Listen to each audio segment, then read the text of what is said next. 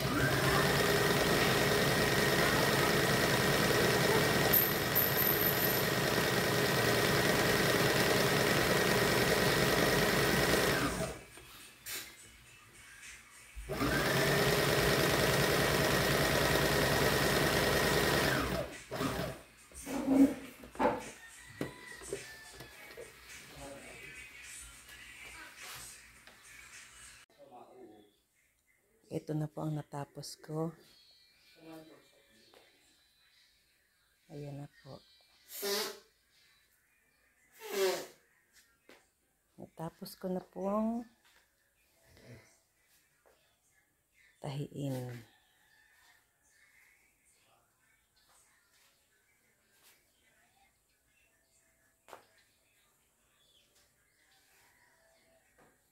Ayan na po lahat.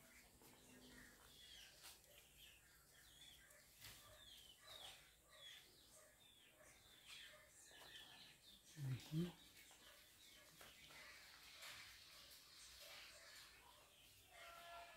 na po. Tapos nang tahiin ni Tita.